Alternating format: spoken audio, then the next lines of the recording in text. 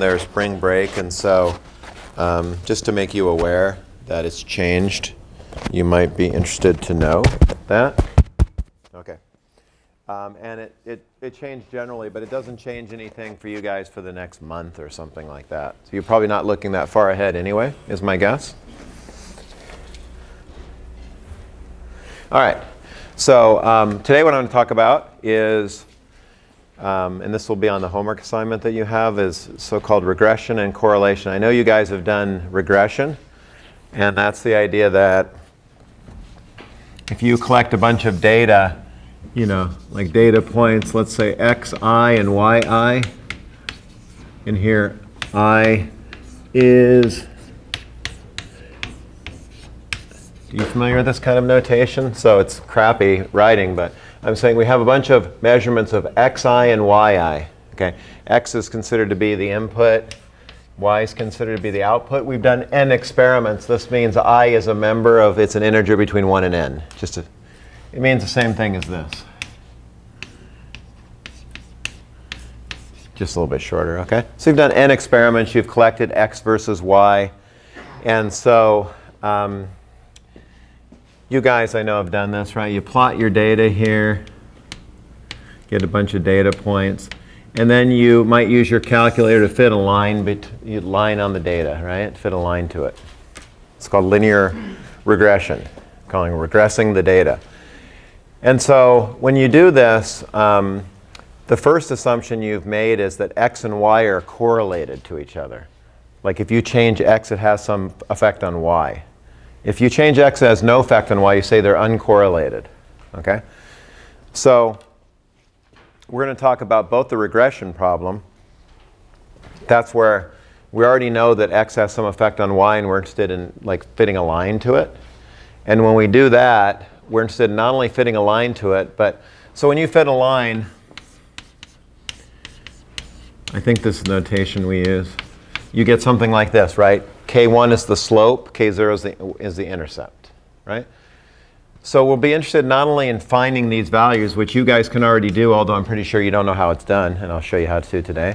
We're also interested in, confidence intervals on those things. So um, we're interested in knowing, okay, we found the slope of this line. What's the 95% confidence interval? In other words, we'll be 95% sure the true slope is in some range. Same thing at the intercept. Okay? So that'll be the first part. And then the second part will be correlation analysis. So when you do regression, you've already established there's a correlation. If, if x and y are not related to each other, you don't regress the data because they're, okay? So um, we do correlation analysis. We have one variable x, another variable y, and we're asking ourselves, does x even have an effect on y? And as you might imagine in statistics, that means do we think it has an effect on y up to some probability or some confidence level, okay? So we'll talk about both those problems. So I think for the regression problem, the new thing will be actually learning how this is done, and then also how to specify confidence limits on the slope and, and um, the intercept and correlation analysis, I'm pretty sure will be brand new to you. All right. So we're doing experiments, and we're collecting data. Our data set looks like this, okay? X and Y. So for each data set, we collect X and Y. X is, they're two variables. I mean, let me give, what's an example? Um, I don't know, you change the concentration of some reactant A and you measure the reaction rate R. I, we'll go through some example like that. Okay? Um, you change the pressure or temperature, you observe change in volume, something like this. Okay? So you've collected this data. Um, and what you aspire to do is basically establish a relationship between x and y from these data points. Okay? And so when we do regression analysis, again, we, we've already assumed that there is a relationship. x is assumed in this case to be, I say, a non-random independent variable. So by non-random, I mean we choose its value.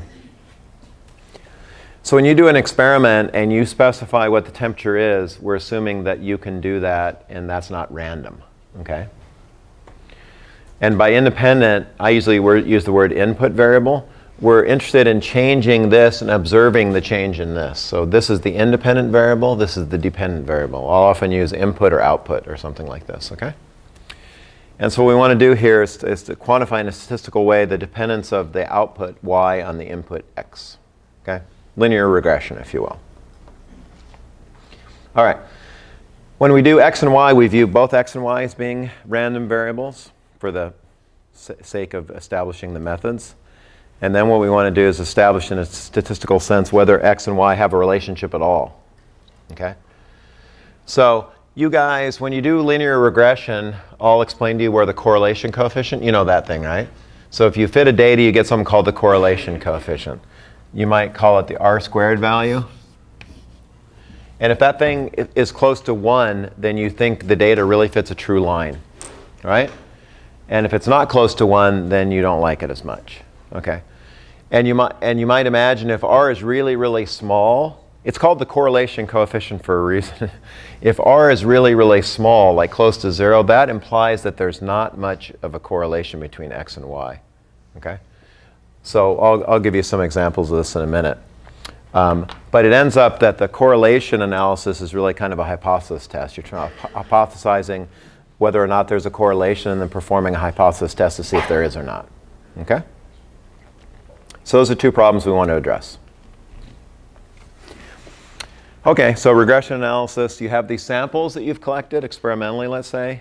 So uh, the index means experiment. So the first experiment, you changed x and observed the, the value of y, and you got a data point called x1, y1. You did the same thing for the second experiment. You did little n total experiments. Okay? And again, in this, in this framework, we're assuming that the input variable x is not random. Remember, we give random variables a capital, right? They're capital letters, and non-random variables are little letters.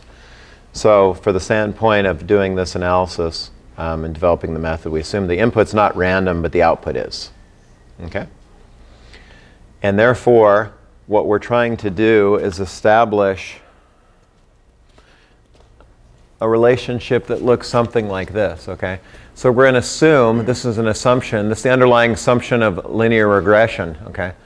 That the mean of y, y is a random variable. So we got to talk about some measure of, so we talk about the mean of it, right? We're going to assume this depends linearly on x. We don't talk about the mean of x because x is not a random variable. Assume we can specify x to be whatever we want. So if you will, this is the true underlying relationship, okay? If, assuming this assumption is true, then underlying the real system is this relationship. There's a linear relationship between x and, uh, I hate myself again. Well, no, no, no, I don't hate myself. Okay. Um, that's fine. I'm not even going to tell you why I thought I hated myself. It'll just confuse you. All right, so we're going to assume that the y depends linearly on x and that the mean depends in this way. It depends. So this is the mean of y. It's a function of x. That's what this means. And this is a linear function like this, okay? If we knew the true relationship, we'd know the true intercept k0 and the true slope k1. You understand? So the first thing is the assumption the relationship, the true relationship is linear. Okay? If this is true, then there's a true slope and a true intercept. We don't know those, obviously. What we're going to do is calculate from samples our best guess of what the intercept and slope are. Um, and then we'll also establish confidence intervals, right? So if this is the true intercept, we calculate what, the inter, what we think the intercept is from samples, we'll have some confidence in that. If we have a lot of samples and there's a small variance, the confidence will be high, otherwise it may not be. So the idea here is, right, when you do this, this is where you start, right, I assume. You say, I have y and I have an x, I need a slope and intercept. But the underlying assumption here is that you're, you're establishing the mean for this random variable, and the assumption is, in the first place, it's linear. Okay. All right. So we'd like to do, and I'm going to show you how to do it, not all the way, but most of the way, is that, so these are um, the measured outputs, right? So when we do the experiments, we measure y1 and y2 and y3 and so on for all the different experiments. And then you can do this. So you have, an, you have a measurement, right, from the first experiment. You measure that. if someone said, I'd like to predict what the outcome of the first experiment is, this would be your prediction, right? I mean, you would take your model. I'm assuming you have K0 and K1 now. You'd plug X in here. You'd get a Y1. This should be X1 here, right? You take the model you have, the regression model. You'd plug in X1 for X. You'd get a Y1 coming out, and that'd be your prediction. That's why I put a hat on it, of what Y1 is for the first experiment, right? And can do the same thing for the second experiment.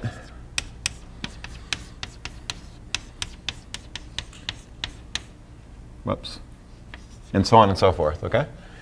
So for every experiment, if you had these, this model, meaning you knew K0 and K1, you could predict what the outputs would be, and we'll call those predicted outputs Y1 hat, Y2 hat, and Y3 hat, okay? All right, and this is, this is one of the most common things in applied mathematics, okay? So what, what do we want to do here? Well, ideally, y1 hat would equal y1 and y2 hat would equal y2. And if that was true, we'd assume we have a perfect model, right? So what do we want? We want this to be true, okay? So this is what's known as the least squares objective. You guys may know it as like the sum, the sum of squares, things like this. What we're going to do is the following. So this j is an index on the, on uh, the experiment. So j equal 1 means first experiment. j equal 2, second experiment. We're going to take the measurement for that experiment. We're going to subtract off what we think the measurement is or, from given our model. Okay. We're going to square that. Why are we going to square it? Because we, we don't care whether the error is positive or negative. We simply want it to be small. Okay, so we'll square that. And then we'll sum up all these squared terms. So this is, uh, if you, this is a measure of how good the model is, right? If this Q thing here, this objective is small, you would see the model is good. It does a good job of predicting what the outputs are. If it's, if it's zero, it does a perfect job, okay? And we square this because, for example, in the first experiment, this error might be negative, and the second experiment, it might be positive, and we don't want those to cancel each other. So square them, make them all positive, okay? So this is known as the sum of squared errors. And this is known as the least squares objective. In other words, my objective is to make q as small as possible. How do I make q as small as possible? Do a good job of picking the slope and the intercept, right? So those are the things I can adjust. That'll, if I change k0 and k1, that'll change the y hat values, and that'll change this q thing, okay? So my goal is to pick k0 and k1 to make this thing as small as possible, okay? I, I hope that makes sense to you.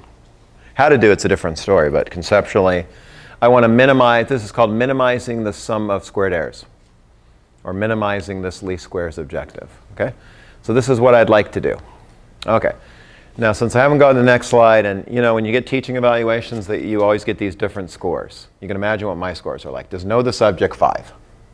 That's, that's a joke, people. Does he engage student interaction? 1.0. Okay, so um, so this is one of my feeble attempts to uh, engage student interaction. Okay, some student, please interact with me. All right, so um, if you want to, so here's, here is a function, right? If you want to look at it this way, this function, Q, this Q is a function of K0 and K1, right? If you want to make that, if you want to find good values of K0 and K1, what do you think you do to this, this function Q? Take the derivative with respect to what? No. Because those, you, you, you, what you're doing is you're trying to find K0 and K1 that'll make that thing small. Okay, check. So you take the, you know, take the derivative. Well, I guess it'd actually be a partial derivative. You guys have had multivariate calculus, right? So, okay. So this, what I'm telling you is implicitly this function q there is, it depends on q, q0 and q1. You can see the equation there. And so what I'm going to do is take the derivative of this with respect to this, try to minimize it. Right, that makes sense from calculus. You know, if you have a function that depends on something you want to minimize or maximize it, you take the derivative and set it equal to zero. Now, of course, that doesn't guarantee it's a minimum. It guarantees it's an extreme point. You remember that? It means a minimum or a maximum. You're just going to have to trust me on this. You'll get a minimum. Okay? So this is what we want to do. take this function, take the derivative of this guy with respect to k0 and k1. In other words, make, try to find the minimum of this function with respect to k0 and k1. And then we'll have two equations. There'll be two unknowns, right? The two unknowns are, because we know that's the measurement, and we, we know the xj, yj values. They're given to us, okay? So the two unknowns here is k0 and k1. You get two equations, two unknowns, you solve them, you found that's, least, that's, that's linear regression, okay? All right, so let's see how you do it. Um, so now I'm taking the derivatives. This is an exercise in taking the derivatives, but let's just say I take the derivative of this guy with respect to k0, okay? So what are you going to do? do you, the sum doesn't matter, okay? Well, I wouldn't say it doesn't matter, but you don't need to worry about it. So if I want to take the derivative of this thing with respect to k0, first thing I'm going to do is get a 2 that comes out, right? And then I'm going to take the derivative of what's Everyone knows how to differentiate some, some function like this, I hope. 2 comes out here.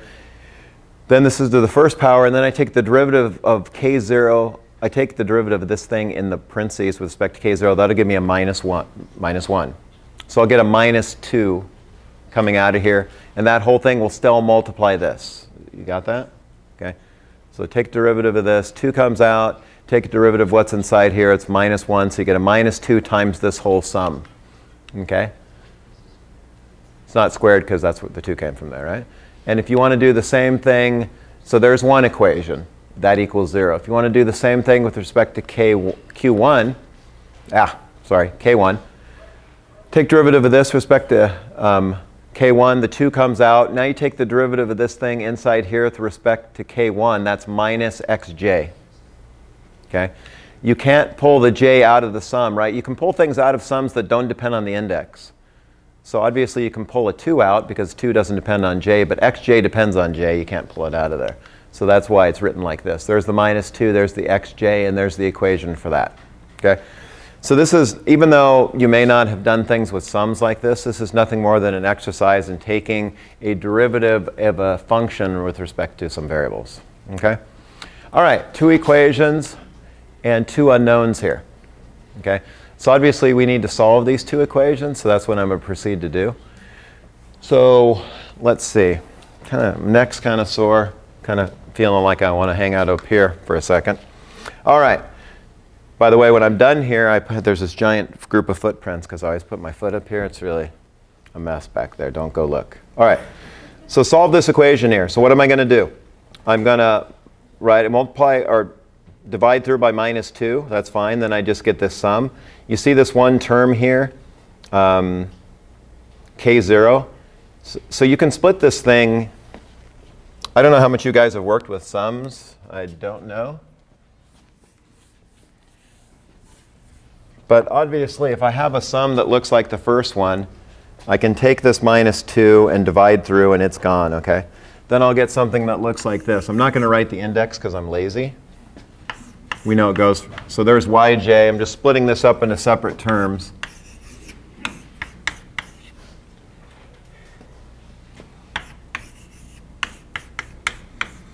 Right? You buy that one?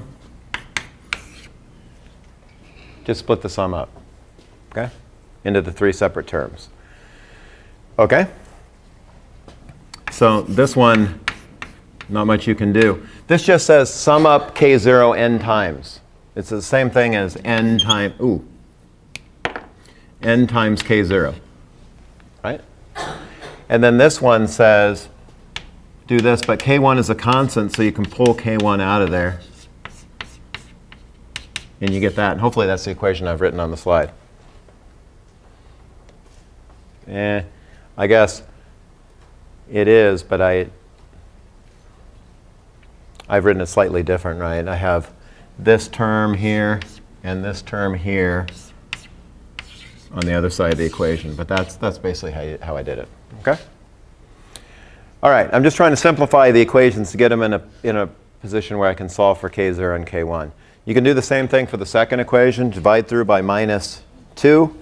You get this sum. So this is the sum of xj times yj. That's right there. Then you get the sum of xj times k0. You can pull the k0 out. That's that there. And then you get the sum of xj times xj, which is also known as xj squared. um, times k1, and you can pull that out, and then you get this equation. Okay, if you take care of all the signs, you'll get that. All right. Well, doesn't look like we're any closer to solving it. So just kind of playing around here. All right. So there's a, there's a bit of a simplification you can do here for um, what this particular equation here. So I've just rewritten this equation here, right there. And then I'm solving this equation, which is pretty easy to do for k0, right? You can just take this term over here, move it over to the right-hand side, and then divide through by n, and you'll get this equation. And then those, those sums should look, those terms should look familiar, right? Someone said, what is 1 over n times the sum of yj? We usually call that y bar. It's the, it's the mean of y, right? What is this term here? Well, it's k1, but then it's 1 over n times the sum of xj, and we call that x bar. So what does this mean? Well, it means if I, if I can find a way of finding k1 then I can calculate k0 from this equation, right? If I have k1, I can just calculate the mean of the x's and the y's, and then I can find k0 from this. All right. Now, now this is where I wish that um, that I had taught you linear algebra first, but I, there was a reason why I did it this way. But I'll, I'll, use this as a prelude to where we're going to go in the next part of the course. So let's say I want to solve this equation. So this is two equations and two unknowns, right? You agree with that? You see this, this set of equations up here? The, don't worry, the sums just are, once you sum these things up, it's just some scalar. That's just some number, the sum of xj. I don't know what it is because I don't know the xj's, but it will be. So there's one equation involves k0 and k1, and here's, a, here's an equation that involves k0 and k1, right? So two equations and two unknowns. um, if we want, jeez, sorry about that. Um, so there's two ways to solve this equation. There's the way you currently know, most likely, and that's take one of these equations, like this one, solve this equation for k0, for example, take that thing and plug it back in this equation. You'll get a single equation for k1 and solve for it. I could do that. I haven't done it. Um, but I could if you want me to. But I'm going to actually show you a different way to solve it because it leads nicely to the next part of the course, which will start in a couple of weeks. And that's to write it um, as a matrix, okay? Yeah, trying to think, maybe that'll just twist your mind into knots. let's just do it the other way. So let's see if we can do, I, I haven't done this. Usually when I haven't done things, it doesn't work out well. But let's just see how it goes. So I'm going to take K0 here and I'm going to say sum of the yj, right? And then I got minus k1 times the sum of the xj. I'm not sure this is going to work. This is a caveat, right? This may all. Okay, when I say this doesn't work, I don't mean it's going to be wrong. It will be right. Okay. But it may not look like the answer I get on the next page because I did it the, another way for the. Let's see how it goes. All right, so there's, there's k0 in, in terms of k1. And now I can plug that into the second equation. So I'm going to take a shortcut here. Sorry, because I don't want to rewrite this thing. So that's k0 right there. And according to the second equation, I should multiply that times the sum of xj. That's this thing here. And then what should I do? I should take plus k1 times the sum of xj squared and have that equal to something. The sum of xj and yj. Okay? Now, if you're a good person, and I know you are, you'll do the following. You'll gather terms involving K1. All right? So if we gather terms involving K1, we have this xj squared term right there. And then over here, we've got what? Minus 1 over n times the sum of xj, looks like. Right? That's all times k1 unless I've made a mistake. If I make a mistake, let me know. And then I'm going to put everything else on the other side of the equation. So that will include this thing, which I think is minus 1 over n sum of xj times the sum of the y, whoops, yj. That's, that's this term here. And I've already taken care of that term, and so apparently the only thing left is plus this. All right? Okay, well, you're done, right? Now you just have to divide by this thing and you've got the K1. So I'm going to do it. I'm not sure why. I want to see if it ends up looking like the answer I've got right there. See that answer I've got there? Maybe I can see it, whether it's true already. Um, well, I'll do it. So I can already see I need to multiply through by n. I'm just going to do that. And then in the numerator, I'm going to have 1 over n. No, I'm going to have n. I'm multiplying through by n, so I'll have n times xj, yj. That's good. That's the first term I wrote there. And then I have minus this. I multiplied by the n, so I have minus xj and yj. That looks good. I'm pretty pleased with how this is going. Multiply n here. Okay. And then finally you have minus, um,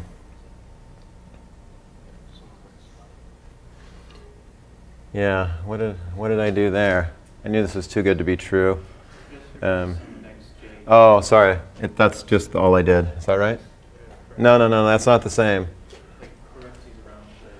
I know, but. Oh, yeah. So sorry.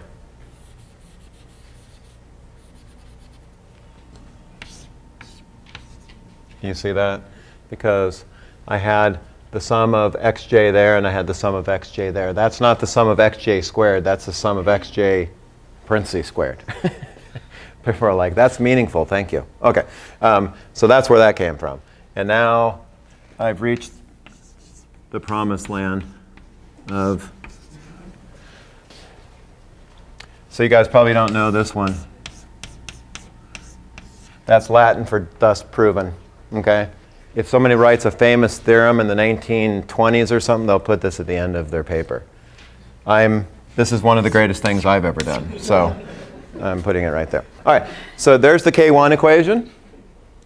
And now if you had the guts, you could take the K1 and plug it back into, well, the original equation which I erased, and you could find the K0. Okay? All right. Now, normally when I teach this, I teach it after linear algebra, and I could show you how to teach. I'll, I'll teach you maybe later how to solve this with matrix algebra. Okay? But anyway, there's the K1. And you might recall from the previous page I showed you this relationship here. So a simple way now to find K0 is just take the K1 that you'd calculate from this equation, calculate the mean of x, the mean of y, and you can calculate the K0 right from here. Okay? Or you could plug it in and from the equation I showed you. Okay. All right. So this is what your, when you do linear regression, this is what your calculator does. So let's make sure we understand what is involved in doing this. It's not very difficult, it's just it's not very fun, okay? So we have to calculate all these sums, right? To, let's say calculate what we just said here. So that means that you have to calculate, you know, you have to multiply x1 times y1 Add that to x2 times y2. You have to sum all those together. You have to do the sum of the x's, the sum of the y's. You have to take each x value, square it, and sum all those up. You have to square the sum. You know, so you just have to keep all these sums. It's not, it's not intellectually challenging. It's very unpleasant if you were to have, you know, 1,200 data points, though, to do by hand. But this is basically the calculation. This is the calculation that your calculator performs. You give it the x and y values, and it creates all these sums, and it calculates, and it spits back the slope and the intercept to you. Okay? All right. so, yeah, we already talked about this. And so this, um, there's an alternative way of representing this, which isn't reflected directly in this equation. Well, it'll be reflected on the next slide. It, using things called uh, covariances and variances. So I'm telling you, and I'll explain this more on the next slide, this K1 is this ratio. It's also the ratio of the covariance of x and y over the variance of x. Okay, and on the next slide, I'm going to tell you what the covariance and variance are. Okay? All right, so these are, these are common quantities used in statistics, including linear regression. So these are what's known as the sample variances and the sample covariances. So to calculate the, everyone knows what this, the variance is already, right? If you want to know what the variance of x is, you take the x, each x value, subtract off the mean, square it, sum them all up, and divide by n minus 1. There's nothing new there. Okay, that's called the sample variance of x. It can also be written like this. I won't try to prove that, but I, that's where you conclude that this, these two things are equal to this ratio. You can do the same thing with y. You can take each y value, subtract off the mean, square it, blah, blah, blah. You get the variance of that. So those, those are nothing new. Standard sample variances, one for x, one for y. This is new, though. You can calculate something called the sample covariance. Okay? So in this case, what you do is you take the, for each x value, subtract off the mean. You do the same thing for y, and then you multiply those two things together and you sum all those things up. So instead of this thing being xj minus x bar squared, or, or the same thing for y, it's value of x times the value of y. Sum all these up. This is what's known as the sample covariance. Okay? Which can also be written like that. I won't try to demonstrate that to you. So it ends up that this expression that I wrote on the previous page here, okay, can be calculated from the sample as the ratio of the covariance to the, to the variance of x. I'm just telling you that. You just have to believe me. Okay? The reason I introduce these variances and covariances because they're useful for other things we're going to do as you're about to see. I'm getting a mint. I'm tired of coughing. There we go. I love these things, by the way. Needless to say, I probably have a bit of a problem, okay? Um, all right. It, it, could be worse, though. I could be pulling out crack cocaine or something. All right. Um, all right, so you get the idea here. So all we did is just to recapitulate here this is a key concept here. If the, our idea of what is the best estimate of the slope and the intercept of this line that we propose to get is the one that minimizes the sum of least squares errors. In other words, it makes our predicted values of y as closest to the experimental data as we can get in the sense we've defined here. You could also make this absolute value or cubed, not cubed, that would be a bad idea, to the fourth power, but this is common, right? This is our objective.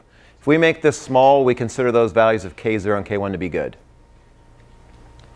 minimize that by taking derivatives, get a couple of equations, solve those equations simultaneously, get these answers. Okay? You can do it either with scalar algebra, which I did on the board there, or you could do it with matrix algebra, which I'll probably show you later in the course. All right, and then I'm telling you, not only can we do it this way, but you can calculate these from this, these variances and covariances. Okay? And these are going to be used later, so I'm just defining these. Again, variance for each x and y, covariance involving x and y. OK. So let's do a little example. Not that you haven't done many examples in your life of this, but let's see how it works. So actually, this is what I kind of depicted on the board. Okay? And this shows the data here.